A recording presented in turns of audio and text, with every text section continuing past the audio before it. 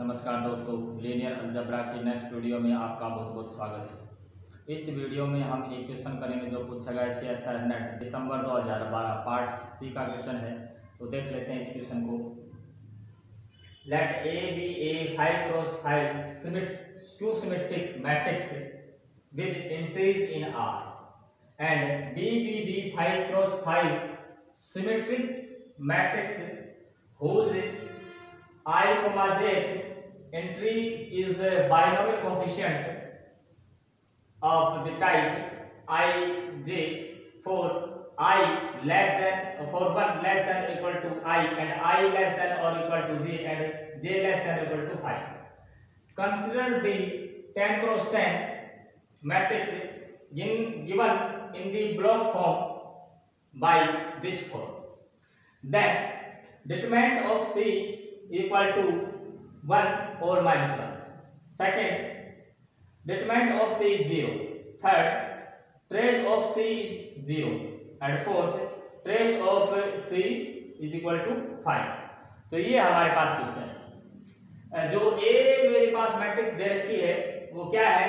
Skew symmetric matrix और B क्या है? सिमेट्रिक मैट्रिक्स है। ए क्या है? ओड ऑर्डर की स्क्यू सिमेट्रिक मैट्रिक्स है।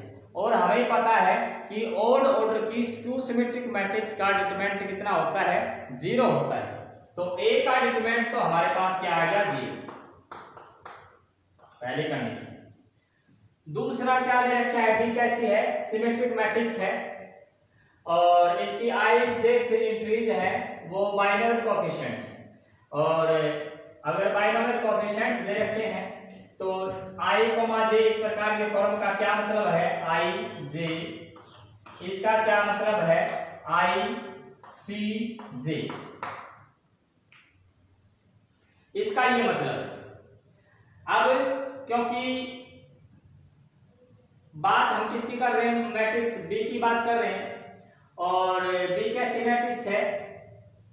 सिमेट्रिक मैट्रिक्स अब हम डिटमेंट की बात कर लेते हैं। फ़र्स्ट ऑप्शन को देखें। डिटमेंट ऑफ़ सी अब ये हमारे पास सी इस फॉर्म की है। तो इसका डिटरमिनेंट निकालें। तो ये हमारे पास क्या है? ये अपर ट्रायंगुलर मैट्रिक्स है।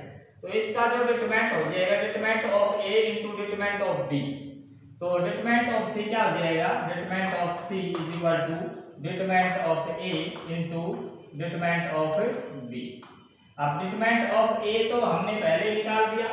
ये क्या है? ज़ीरो तो ये हो गया zero into determinant of B तो ये ओवरऑल क्या आ गया? ज़ीरो आ गया। डिटरमेंट सी का डिटरमेंट कितना आ गया? ज़ीरो तो फ़र्स्ट ऑप्शन तो डिस्कार्ड हो गया और सेकंड ऑप्शन आंसर हो गया। अब बात कर लेते हैं ट्रेस की। अब क्योंकि मैट्रिक्स कैसी दे रखी है? A matrix skew symmetric matrix दे रखी है। और ट्रेस में क्या होता है? सम ऑफ़ डायगोनल एलिमेंट्स होता है। और स्क्यू सिमेट्रिक मैट्रिक्स के जो डायगोनल एलिमेंट्स हैं, वो ज़ीरो होते हैं। तो ए का तो कोई कंट्रीब्यूशन है नहीं ट्रेस में। तो trace of trace of C का मतलब क्या है? इन, इनके, इनका ट्रेस इसका ट्रेस प्लस इसका ट्रेस तो trace trace of A plus trace of B अब इसका कंट्रीब्यूशन तो है नहीं, क्योंकि स्क्यू सिमेट्रिक मैट्रिक्स दे रखी है और सिमेट्रिक मैट्रिक्स के जो डायगोनल एंट्रीज होती हैं, वो ज़ीरो होती हैं। अब इसकी बात कर लेते हैं ट्रेस ऑफ़ बी अब इसके डायगोनल एलिमेंट तो इसके डायगोनल एलिमेंट कैसे होंगे? मैट्रिक्स इसकी जो एंट्री कहाँ से है?